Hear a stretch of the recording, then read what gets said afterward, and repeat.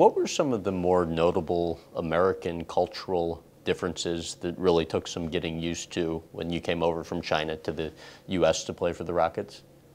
I said, not really many. I have to say that, that because because this city you can see right here, Shanghai is very open-minded, right there, and we have a, you know, each day if you walk on the city, I would say very often you were, you were you will met a guy, a gentleman, a lady who from a European or United States.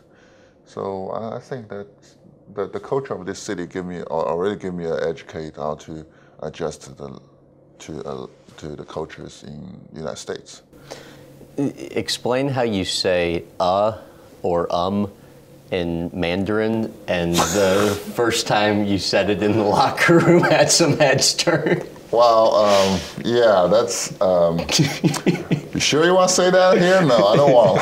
I don't want. I know what you talk about, but it's, it will bring me some troubles. It is.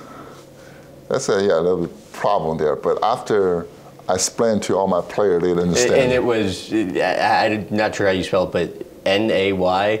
N A. Uh, and then G U H G. N A I G E.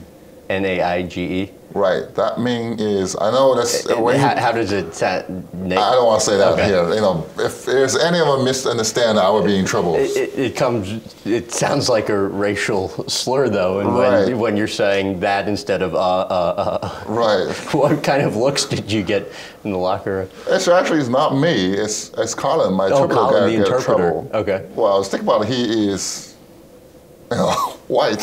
Right. And he say that in the locker room, but he he talked to me, so other players look at him and you want some troubles. And then we explained to him, and I proved that that's that's true, you know. And okay, that's all fine, but we don't mean we don't mean bad, but in our language. Right. It just we're- means uh or um essentially. right. But language, right? was making some misunderstanding here, you know. Just be careful. Right. How about your favorite American slang that you learned? I like yo. Yo. How about uh, favorite food? That's your favorite food?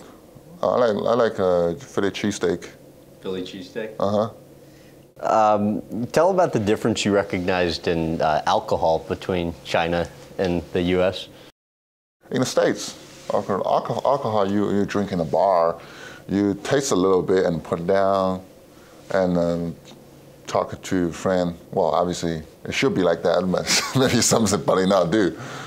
But in China, when you say cheers, that means you have to finish your glass, and we do that very often in uh, dinner, in the clubs. Um, so that gets you drunk pretty fast.